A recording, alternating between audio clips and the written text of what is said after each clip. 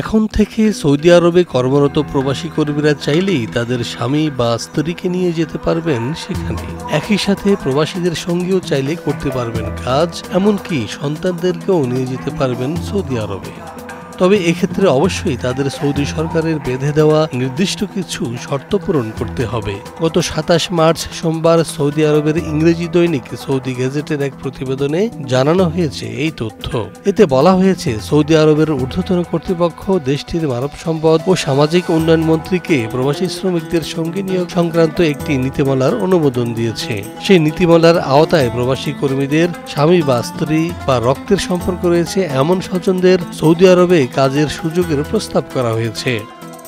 Saudi gadget বলছে, প্রবাসীদের স্বামী বা স্ত্রী যারা সৌদি আরবে তাদের সাথে আছেন এবং সেই সাথে প্রবাসী কর্মজীবী নারীদের মাহারাম বা ঘনিষ্ঠ রক্তের আত্মীয় কিছু শর্তে নিয়োগের অনুমতি পাবেন।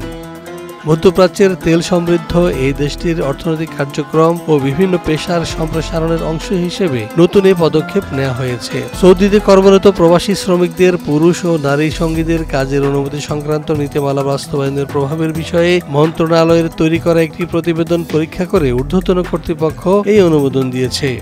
এই জন্য বিশেষ মানদণ্ড উত্তরে গেলেই কেবল সঙ্গীদের সৌদি আরবে নেওয়া যাবে বলে জানিয়েছে মন্ত্রণালয়। তবে তাদের নিয়োগের জন্য অবশ্যই সংশ্লিষ্ট জায়গায় পদ খালি থাকতে হবে। এছাড়া সঙ্গী নিয়োগে পেশা বাছাই ও নিয়োগের সব শর্ত পূরণ হচ্ছে কিনা তা বিবেচনা করবেন নিয়োগকর্তা। এক্ষেত্রে সঙ্গীকে অবশ্যই সৌদি সরকারের প্রয়োজনীয়তা অনুযায়ী পেশার নির্ধারিত যোগ্যতা বিবেচনা পরীক্ষায় উত্তীর্ণ হতে হবে।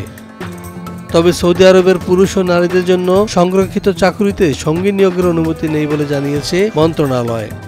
এছাড়াও যেসব বাংলাদেশি সৌদি আরবে গিয়ে বছরের পর বছর অবৈধভাবে ব্যবসা করছেন, তাদের ব্যবসার বৈধতা দেওয়ার উদ্যোগ নিয়েছে সরকার। কর্মী ভিসা যাওয়া যেসব বাংলাদেশি এতদিন পরিচয় গোপন করে কোনো সৌদি নাগরিকের নামে ব্যবসা করতেন, তাদের ব্যবসাকে নিজ নামে নিবন্ধনের সুযোগ পাবেন তারা। নিবন্ধনের জন্য তেইশে আগস্ট পর্যন্ত বেঁধে দেওয়া হয়েছে সময়সীমা। এসবের মধ্যে ব্যবসা প্রতিষ্ঠানের নিবন্ধন না করলে কঠোর শাস্তির মুখোমুখি হতে হবে তাদের। সেই শাস্তি নিশ্চিত করতে এরই মধ্যে বাণিজ্যিক গোপনীয়তা বিরোধী আইন সংশোধন করেছে দেশটির সরকার। এই সুযোগ শুধু বাংলাদেশিদের জন্যই নয়, সৌদি আরবে বসবাসকারী সব বিদেশি নাগরিকদের জন্য প্রযোজ্য। দেশটিতে অবৈধভাবে যেসব ভিনদেশি ব্যবসা করছেন, সেই ব্যবসাকে বৈধতা দিতে তিন মাস আগে সৌদি সরকার বাণিজ্যিক গোপনীয়তা বিরোধী আইন সংশোধন করেছে। সংশোধিত আইনে বিদেশি নাগরিকদের অবৈধ ব্যবসা কার্যক্রমের বৈধতার কথা বলা হয়েছে।